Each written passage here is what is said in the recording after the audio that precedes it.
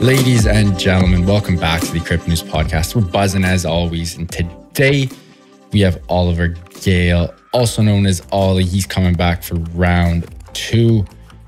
Ollie Gale, the serial entrepreneur, CBDC pioneer, investor, advisor, and global advocate of distributed ledger technology, currently serving as the founder and CEO of Panther Protocol, an end to end privacy protocol for digital assets that can be deployed compliantly on any public blockchain.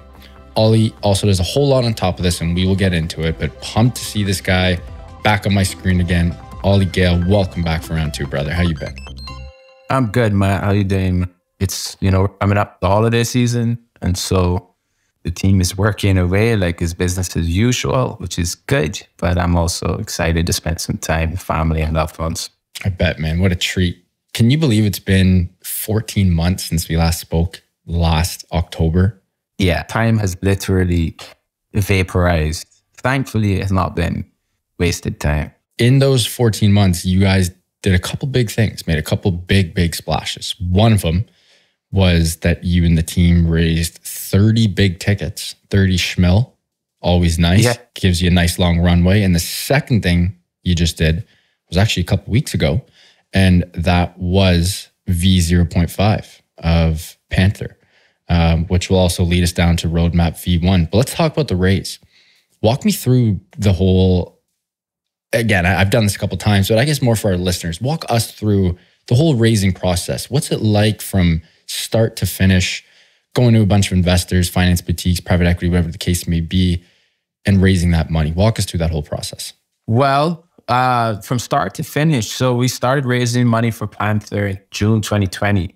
And the first tickets in came from the founders uh, and from like a very small circle of friends and colleagues in the industry. It was about $10,000 and that was enough to get the website, the deck, the logo, and just get going on the idea of putting together a light paper draft, which was actually the biggest ticket item at the time. So we spent six months sort of formulating what Panther Protocol could be. And in January 2021, I took on the CEO role, which, uh, and, and my co founder took on the CTO role. We brought together four guys to, you know, blockchain architect and engineer, another architect and engineer, and then uh, brought in a head of marketing and a community manager, junior guy. And we started it in you know, the investor network. Now we raised Panther is one of the most one of the largest investor bases for project between 2021, sort of that the last cycle, if you will, 2020, 2022. Uh, there are 1,500 public sale investors and 150 private sale investors. So I probably must have had maybe 500 calls with investors in my private network uh, in my co-founders network and just referrals to get the private sale done. And that was a raise that was done all through 2021. We raised $10 million uh, that way. And then the public sale took place. That was a huge technical matter. We launched through TokenSoft. So we had compliance yep. programs, compliance operators, financial. Do it all for you. Yeah, it was, yep. it was doing the whole pro- marketing build up as well that we had to coordinate to build awareness of the sale. And Panther sold out in 90 minutes, raised 20 million US in 90 minute, minutes. Crazy. With, on our forms, our sign up interest forms, we had half a billion dollars of indicative interest from people wanting to invest into the protocol. So we timed it well, we executed it well. There were a number of questions that I would say other protocol teams that had raised a lot less money and had launched a token and then started selling their treasury, their token into the demand of the bull market to build up their treasury. And there were a few conversations I had. And the primary thing was, why are you guys raising so much money? You don't need this much money. And the primary answer was, this is my third cycle. I know what it takes to build this technology. A bear market is coming and we need to be able to focus and deliver regardless of need that runway yeah. So that's exactly what we did and it's exactly what we've been doing. 2022 we started the year by launching the ZKP token and basic staking and ramped up from a team of about 15 to we've stabilized between 35 and 40 people in the team now. We've really refined and got a very high quality team, lots of amazing people on that team, and it's just been heads down and build. Uh, so Panther protocol itself has a whole new facelift on architecture and structure. We just launched advanced staking, and you know there's a lot to talk about. Um, so I'm overall very happy with what 2021 and 2022 have thrown up for us. What a ride, man. Happy for you and the team. Like, what did it feel like raising 20 mil in, what would you say, half an hour from the public? It was like an hour and a half. I have raised money now of ranging from my first startup was 400,000 US dollars. The Panther raise was the public sale was the biggest single ticket. And no matter what the raise amount has been, it's always felt the very same, which is great. Now I'm responsible for this money. I have to make sure that I get yeah. Bit of, bit of extra weight on your shoulders. There's actually little, almost no joy. I remember after the public sale called up, it was like 30 minutes after the race had completed. We closed off the platform. I called whoa, the team whoa, whoa. up. Ollie, did, did I hear you just say that? You said there was almost no joy after raising the funds? Not for me, that's for sure. Come on, bro. Really?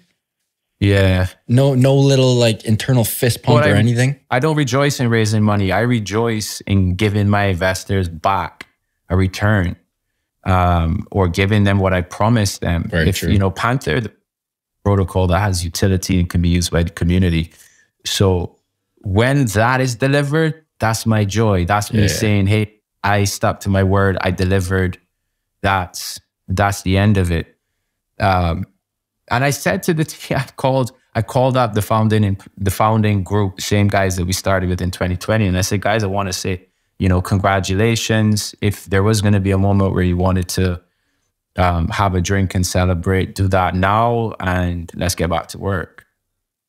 Because you don't, there's nothing to celebrate. Like that's not how this works. There are a lot of people in this industry who take money and then that's it. Congratulations, we're victorious. Maybe we'll deliver and it will work. Maybe yeah, we won't.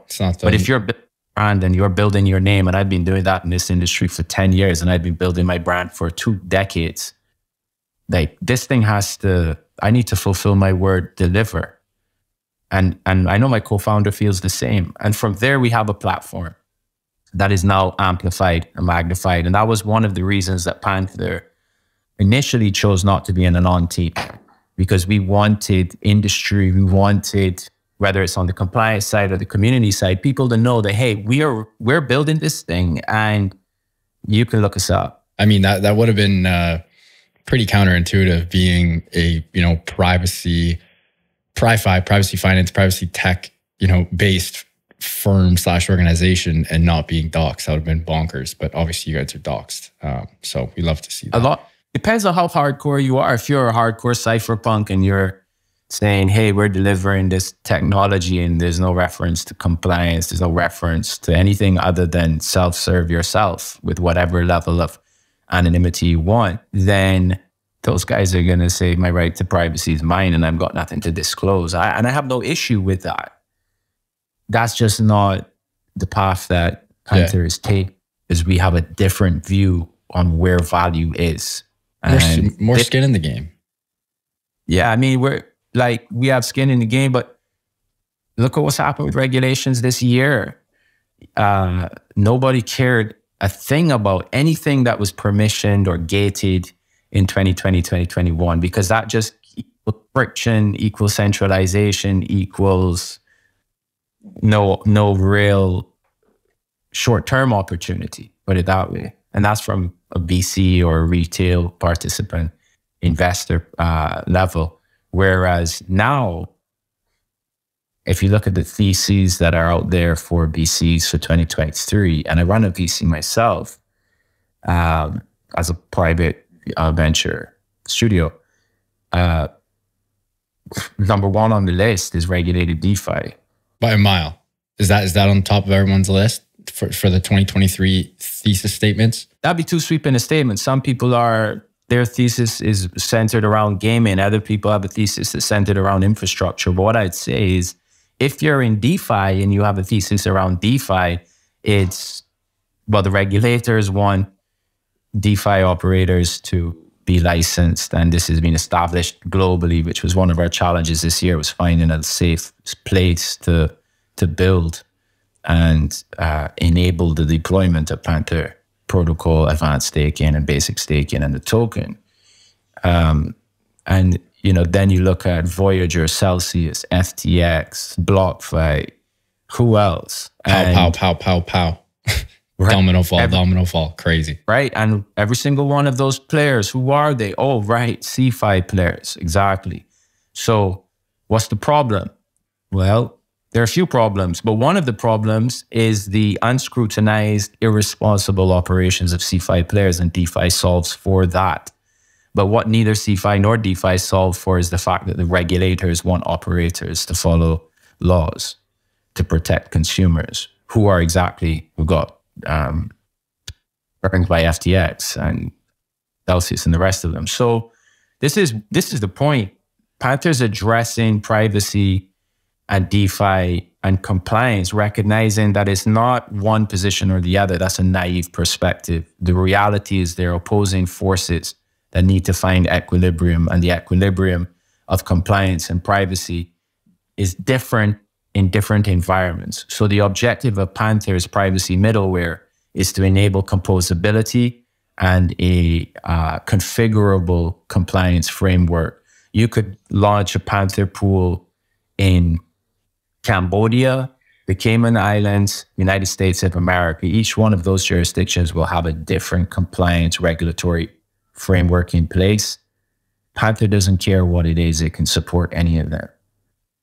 Furthermore, and this is part of the vision that we initially signed up for is we see the rights to privacy, rights to freedom of speech should be inalienable rights globally uh, in a distributed economy and governance framework. And so what we hope to see is appropriate regulation and legal judgments passed that allow for a completely sovereign fully decentralized, retail accessible shielded pool that doesn't have any sort of guardian in place where the end user says, I'm a sovereign individual. I have obligations to pay my taxes, to obey the law, the laws and, and operate in a society with order. And I'm going to responsibly manage my sovereign rights to privacy to interact on these solutions. And I'll make the disclosures that I am obliged to make as a citizen.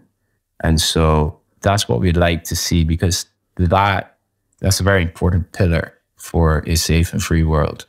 And this is all about Panthers V1, right? You guys you guys went live a couple weeks ago on V 0.5, version 0.5. And the whole point of V1 is to allow retail users and institutions and legacy players to interact with DeFi without risking transactional surveillance right? It's to be, like right. you said, a sovereign individual, not have every move watched, but also given the level of credibility and the stamp of approval to transact and operate in the DeFi space. That's pretty much the gist of it. That is the gist of it. So here's a couple of things that I want to discuss that uh, bring some accents to what we see as working in the market. And so the first is that our job as a team is to build the software, deliver the tech roadmap. So we write the, we architect it, we write the code, we provide some form of open source licensing for the code and documentation for it, and then we release it to the community, the open source community around Panther. And they have the opportunity to deploy it, to amend it, to modify it, to fork it, etc. So we have already worked through this year to ensure that we stick to our job which is be a contributor of technology to the open source community and to enable our community to engage in governance and decide what they want to do themselves. None of the founders, none of the team, none of the foundation will be involved in any voting process on the Panther. No, we don't get involved in voting. That's not that's not the framework that we believe in. So, uh, so the first thing is that technology stack v 0.5 was released to the community, and the community went through about five Panther improvement pro- proposals to systematically get advanced staking into production. And advanced staking is the final step before V1. Now, what V1 has done, because again, we've amended our architecture, we'll have a new tech and product roadmap out in, let's say, January should be feasible. I mean, until January is when we'll release it. So let's say it's January. What Panther Protocol does is it enables guardians to create zones. And each of these zones is a shielded transactional environment. It's confidential DeFi. Uh, it's the ability for the guardian to onboard all of the users into its shielded pool and for that shielded pool to act as a proxy to all other DeFi contracts and to also bridge transactions privately using Panther across chains there's a relationship of data sharing between the guardian and the user, just like when you use a fintech. So Panther is enabling this multi-zone model. And one of the things we've achieved is the ability for each zone. So the, one of the Panther pioneered the multi-asset shielded pool, which was an enhancement on other mixers that enables different asset types to contribute to the anonymity set. So in a like say Tornado Cash, ETH contributes to ETH and USDT contributes to USDT. And those two don't share any privacy factors. But the first thing we did was we pioneered the multi asset shielded pool. Now we're pioneering the multi asset zone. So, what that enables is each operator to have their own data custodial, confidential, uh, compliant relationship with their users. None of those users' transactions are fingerprinted to the rest of the world. Everything is on chain obfuscated. And then we allow that to be shared between all the different zones. You start a zone today and Panther already has a network. You can inherit the anonymity set of the other zone operators, but there is no transaction mixing.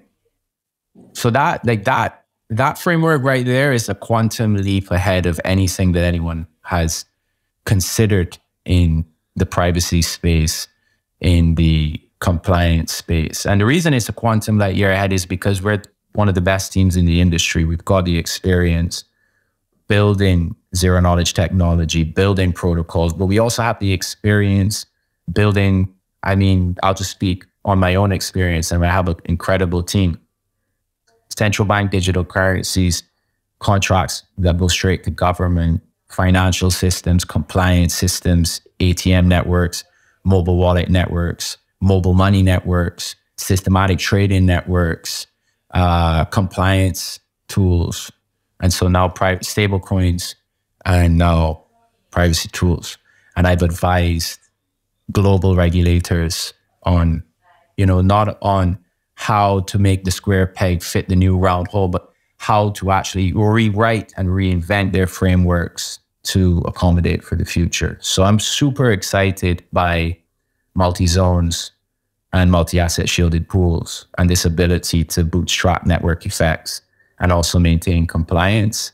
And I think the Panther being where it is technologically, financially, product wise, is the tip of the spear to be the real mover in enterprise markets.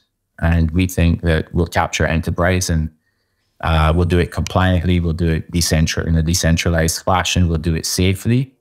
And then at some end game state, we'll put everything into the hands of the community and they can decide how they uh, how they want to enable um, forks or future versions of the protocol, whatever is decided. And then they get to run with it. Hey, we love that. Um, what year do you see this coming to fruition? Now, obviously, again, you guys are head down, building, hauling ass nonstop. Is you told me 2023 is going to be the year of regulated DeFi. Is this also the year that all of the sort of fruits being bared pop off? This is the thing about words like all. I don't think all. I do think and I do expect, and there's also a degree of hope that we will be able to deliver the entire white paper and tech roadmap for Panther Protocol in 2023. If we have to go to 2025, on cash treasury alone, we're good to go. If we include grants, we've gone until 2030. If we include ZKP, you can extend it even further. So we're equipped to weather the recession, the bear market, regulatory changes, etc. I I expect and hope that Panther becomes an ecosystem unto itself and that we are joined by other builders that want to build different versions of front end applications or enhanced tools and systems. For example, two that we are prototyping now are ZIDs and Z votes. So private voting for DAOs, on chain, off chain, hybrid models, and also this private identity aggregator slash credential scheme, both of which are required for shielded pools to operate. So the technology essentially is already built into the protocol. What we're aiming to do is see if we can ab- you know abstract them out into their own dApps and provide those for the community. But that's like that's an example. And ideas that again, you know, like the question kind of is of who's responsible for making these things happen. And the beautiful thing of an open source project is the answer is everyone and anyone. But the idea of a Z suite, because we have Z assets and Z voting and Z ID and Z bridges. So this concept of the Panther Z suite is sort of emerging uh, out of the collective think tank at Panther Ventures and the community. So Panther's building the pools, the bridges, the adapters, the probably, possibly the voting and ID. Those are not on the roadmap. But that's the sort of thing that we look at it and go, how do we create wins? Success is when you, success is how you define it first and foremost. I define success as having integrity to my word and delivering what I say I will, which is the technical roadmap. But more than the technical roadmap, it's actually a functional product, like something that works, something that adds value. So we're focused on everything DeFi. We're focused on shielded pools. We're focused on compliant disclosures. We're focused on multi-chain private bridges. We're focused on DeFi adapters. We're focused on onboarding enterprise into a series of POCs to prove the project, and we're focused on decentralization. That doesn't mean that if we can't deliver it, we're not going to deliver on voting and identity. Got to follow the moral compass. Ollie's on a roll, folks. Got to take a quick break. Give a huge shout out to our sponsor the show. That's Prime XBT. You guys know we love Prime XBT at Crypto News. Longtime friends who have built an amazing product. Doesn't matter if you're a rookie or a vet, you can easily design and customize your layouts and widgets to best fit your trading style. Prime XBT is also running an exclusive promo for listeners of the Crypto News pod. The promo code is Crypto News 50. That is Crypto News 50 all one word to receive 50% of your deposit credited to your trading account. Again, that is Crypto News 50, all one word to receive 50% of your deposit credited to your trading account. Now back to the show with Ollie.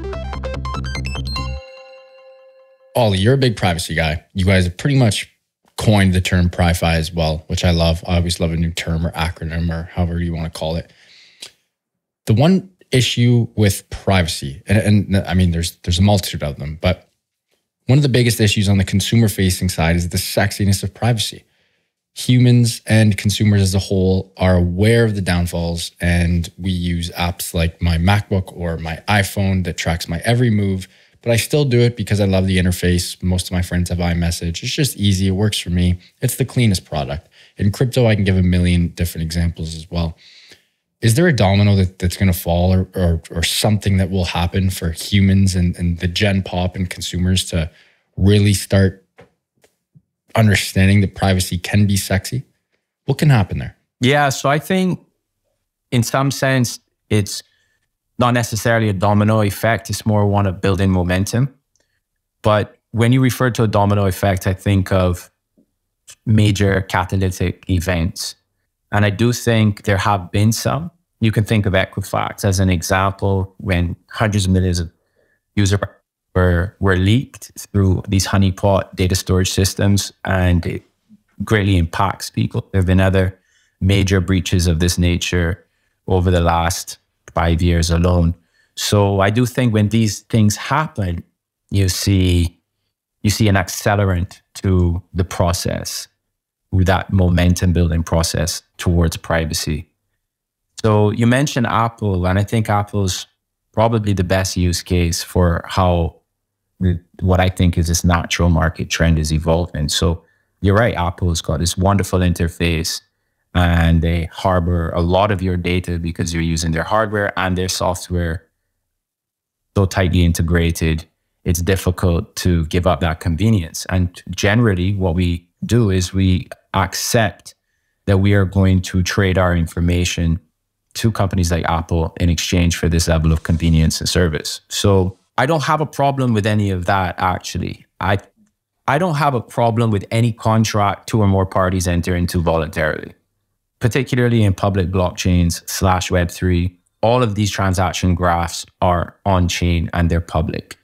Chainalysis, Elliptic, uh, CipherTrace, which is now owned by MasterCard, none of these organizations ever came to you or me and said, Hey, I would like to fingerprint your on chain transaction graph and then use it in my big data, machine learning models to create insights and sell those for hundreds of millions of dollars to everyone from the IRS to the FBI and law enforcement in between and consumer funds. And that's what they're doing. They just don't ask us. Same thing for Nansen Alpha, you know, which by the way, I have a company that uses Nansen's Alpha service. We think it's great. We'd love to see exactly what whales do and how their portfolios are structured, constructed, and what they trade and when they make moves. That's fantastic. Great. We will use it. Why? Because we're operating in a, in a free market and that's where Alpha is. However, what Panther is doing is saying, yeah, so you see this data disclosure? There's a whole subclass of actors that are using this. What you should do is you should enter a confidential or private relationship with some actor to protect your data footprint and to protect that alpha. So right. you can't really change a system by enforcing rules. You have to change a system by changing the way the game is played. Well said. And so going back to someone like Apple, Apple is the biggest marketer on a global basis for privacy and trust. Hey, you know, we've encrypted, we've got relay email servers, we have uh, encrypted iCloud, so you can do iCloud encrypted backups, iMessage, etc., etc. Your data is safe with Apple. Your data is safe with Apple. It's a huge marketing campaign. So there's two reasons. One reason is there's real demand from users who are increasingly involved in a digital age, digital economies, digital lives for privacy. 85% of web users wish that their cookies weren't tracked. So there's that intrinsic demand. So you look like an ethical company. And I say look because actions can be different to what you market. You look like an ethical company when you advocate protecting people's privacy. But the other side to the story, which I think is even more interesting, is that Apple is destroying Facebook and Google ad revenue. Slowly but surely. One little knob at a time. It's crazy. If both to survey Apple users. So Facebook struck target you effectively because Apple is saying, hey, trust us. But what they're also saying is enter a confidential data relationship with us. We'll protect you from the rest of the market. And so now it becomes a race between Apple and Facebook to who can be more trustworthy, who can offer better security and privacy. So all of a sudden, we're no longer talking about privacy. It's no longer about um, the all of the hostile, the bad words, money laundering, and so on and so forth that are associated with privacy. Now it's about safety and security. Now it's about ad revenue. Now it's about confidentiality. So I think that that momentum is only going to build over the next five to 10 years. And we're going to see that privacy is going to do what it does best, which is fall into the background. It's going to become embedded like security and safety and trust as opposed to privacy and anonymity and crime and so forth. And it's going to deliver on that. And we're going to see most Web3 companies and even protocols incorporate privacy uh, services to meet the demand of users. And also, ethical businesses have now a market incentive to be secure and safe and house users' information, protect it on their behalf, because that is what will bring loyalty to your product.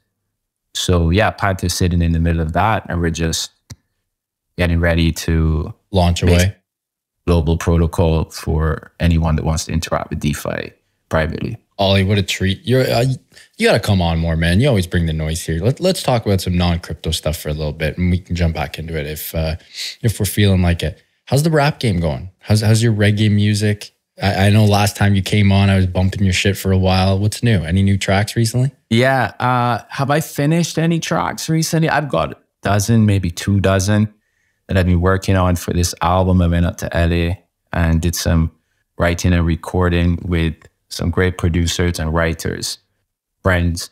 Um, so there's going to be an album in 2023. Really, you know, it's all about juggling priorities and Everything, juggling. Yeah. Certainly, music is it's my passion. It's my journal. It's self-expression. It's brand associated, and I really enjoy it. And I think that people will too. So the the proof will be in the pudding. They'll have to listen to it and decide how they feel. Um, but I, you know, in my own sense of personal freedom, music is very important. It's something that I'll be doing more of and not less. As a matter of fact, this is my studio. The keyboard's right there. Mic number one, mic number two. The monitors are right there. So I've got my setup to be able to work and play. Well, when you're when you're recording, what do you look for for inspo? Like, do you are you uh you something comes to your mind, write it on pen and paper? Are you uh, something comes to mind, put it in the you know notes app on your iPhone? Um, what, what like are, do you go for a long walk on the beach? I know you're in the Caribbean right now. Like, what do you do to get new lyrics or beats or flows pop to your mind, and how do you keep them there? What walk me through your whole process? I'm so curious to understand this better. Yeah, that's a pretty cool question. So, first of all, I use my voice recorder extensively. Anytime I'm writing a new song, uh, I will put the voice recorder on for the very first take. The first time I'm listening to an instrumental or a beat, I will put the voice recorder on before I do anything. And then what I do is I just let whatever flows come through. So it's a freestyle. So I'll freestyle a whole song, verses, chorus, bridge. And then I may do that a couple of times. I'll listen back to it. And then I will pick out the sections that I love and I'll write those out, arrange it. And that forms the skeleton of the song. Um, but sometimes I listen to other music and I love the the rhyme schemes. So I'll write down keywords to expand my vernacular. Where, where do you where do you write this? Like are you, iPhone? Yeah, iPhone, Google Keep. Gotcha. Uh, I write songs on the phone so that when I'm in the studio, if we need to record, I don't need to pull out a laptop. Right. You just yeah. play yeah. the beat. I can write on the phone, hold it up, record into the mic. Song is done. The record's on all the cloud, so it's it's it's set. Voice notes are there for reference. So that's that's like a very on the go because I've been moving and traveling for years now. So it's a very like I can do this in the elevator. I can do it wherever. Right. Then it's, I it's convenient, efficient. Yeah. then I go to the studio and that's where we actually lock into recording technique and, and pushing it. So cool. All that piece is covered. Yeah. The piece marketing and distribution is the business end of music, and I haven't had time uh, to focus on other business ventures. So I've been building up the creative side of it, that pipeline, called that supply, and then I need to at some point work on distribution and marketing, and that will come again when I've fulfilled my obligations. that's that's so foreign to just a lot of you know investors and and businessmen and women as a whole like being a musician on the side who's actually produced some some big tracks. That's just uh, like you know for me i couldn't imagine. Like my escape is you know sports or golf or something right? Where it's like i'm not making stuff for other people when i'm out on the course i'm there to you know have a blast with my mates and to get a little better internally right and achieve your goals, achieve my goals, but pumping out tracks on the side, it's just so foreign to me, man. And it, just really interesting. Like, you know, that's, that's not an easy skill set to have. I always think of like the famous Drake line. What, what does he say? He's like, you know, musicians and athletes, they want to be them and, and they want to be us. You know what I mean? Like it's always that sort of paradox between the ultra creative and the, the madness of sports or business. It's, it's cool to think of. And, um, yeah, kudos, kudos for you doing it. Thanks, man. I think all creativity comes from the same source. And if you can tap into your creativity through some form of art or organic expression, it helps you to be creative with business structures. And as an architect or a product visionary or a product designer or a business architect um, or a, a business leader. So I, I feel that I have strengthened both my entrepreneurship and my art by fostering both sides. Yeah, I agree. That is. Ollie, what a treat, man. I know we're getting tight for time. Last question here Hot Take Factory. I know you always got a couple. Give me a couple Ollie hot takes for 2023. Doesn't have to be crypto or privacy related, can be, you know, health, wealth, happiness, finance, sport, politics, geography, space, AI, you name it. Any any Ollie hot takes you got cooking on the back burner? Man, Too many? AI 2023, Chat GPT, GPT is nuts. There's just a series of them. We're going to start to see the beginning of a hockey stick for human innovation. It's where we've already been on it, but we're going to really start to see this manifest. I wouldn't be surprised if markets get overly enthusiastic about uh, AI and in 2023. That's one, two, recession, US slash global recession. Uh, I think we're in one, and I'm hoping by the end of the year, I think we'll start to see the signals, whether it's the Fed, supply chains, energy constraints, where uh, markets will start to turn around.